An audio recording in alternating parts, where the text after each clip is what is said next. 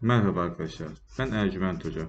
Bugünkü yapacağımız işlem, eşlerin birbirlerini sevmesi ve birbirlerine saygı duyması için yapılan bir işlemdir. Şimdi tek yapmanız gereken bu sayfayı ekran görüntüsü almaktır.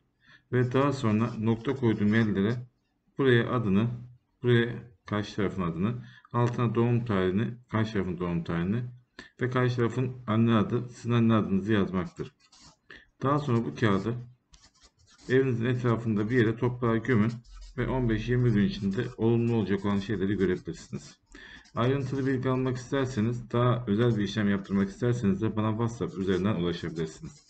Allah'a emanet olun. Merhaba arkadaşlar, ben Ercüment Hoca. Bugünkü yapacağımız işlem evlilik büyüsü.